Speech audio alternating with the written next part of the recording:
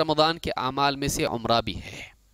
رمضان کے اعمال میں سے عمرہ بھی ہے۔ کہ رمضان میں کیا کیا کرنا چاہیے؟ عمرہ بھی کر سکتے ہیں۔ ام سنان رضی اللہ تعالیٰ عنہ کہتی ہیں، اللہ کے رسول صلی اللہ علیہ وسلم نے ان سے کہا، فَإِذَا كَانَ رَمَضَانُ اِعْتَمِرِ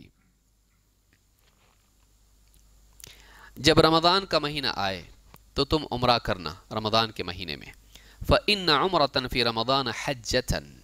اس لیے کہ رمضان کے مہینے میں عمرہ کرنا حج کی طرح ہے، حج کے برابر ہے۔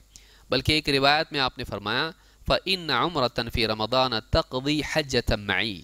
اس لیے کہ رمضان میں کیا جانے والا عمرہ ایسا ہے جیسے کوئی انسان میرے ساتھ حج کرے۔ اللہ کے نبی صلی اللہ علیہ وسلم کے ساتھ حج کرنے کی طرح رمضان کا عمرہ ہے۔